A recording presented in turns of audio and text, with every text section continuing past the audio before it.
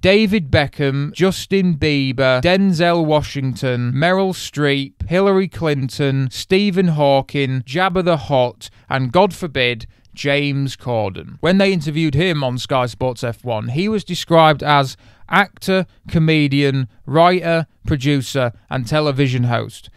That's not accurate, so I fixed it. Pleb, defector, only man from High Wycombe with an American accent. Thankfully, he wasn't there to do one of them cringy driving and singing videos. Because the only person we want to see James Corden do carpool karaoke with is Princess Diana.